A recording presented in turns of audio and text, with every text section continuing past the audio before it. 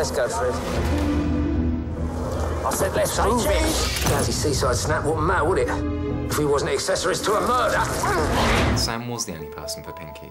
Um, I've always thought Sam had a movie star quality, and as well as that, Sam had this kind of diabolically cheeky charm. And I thought if I could push the diabolical a few steps darker, I might get something properly satanic. I wouldn't say he was a mastermind, but he is criminal I think neither. and misunderstood in Yeah. some ways. Yeah. Go on, Oh no, you. go on. Well, um, uh, I, I, I think that he's um, he has yet to explore a lot of himself and is possibly lacking any frame of emotional reference. And I, and I think probably the thing that Rose sees that his potential is such, in so many ways, that he could, that she sees that he could be so much more. Thinks that she does. I'm a Roman too. I used to be in the choir. Do you go to mass? But he believes though. Of course I do. It's the only thing that makes any sense. We know from the book and we know from Greene's writing about the book that he wasn't much interested in a documentary record of the actual Brighton at that time. And given that it was written in 38, 39, and the whole of Europe was going to be plunged into the biggest world war in history, there is no reflection of that.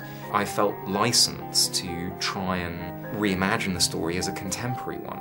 But it didn't work. So 64 felt as contemporary as I could make it, and also, of course, is the first time when youth in British culture and society had any kind of rebellious power.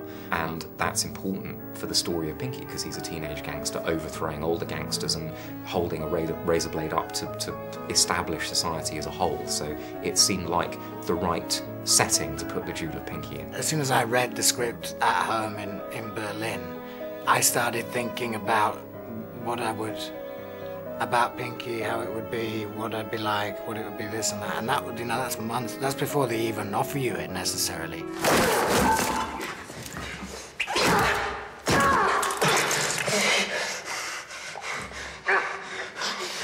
The cheese, son. You better be ready to use it.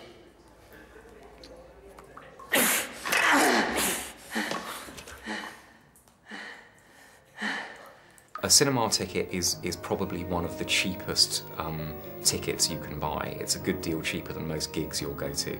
And for your nine quid, um, I have shot a movie on Anamorphic 235. That is the widest letterbox format known to man, and it will give you an epic experience that will pluck you out of your seat and whack you on the edge of the White Cliffs of Dover with a 150 foot drop behind you and a soundtrack that involves choirs of angels and devils. If you download it for free, you're not watching the movie I made, and uh, you're certainly not a friend to filmmakers, and, and it will make it harder for you to have anything half decent to illegally download in the future. So if you're going to do it, at least see as many possible movies that you've paid for properly before you then break the law. Scared?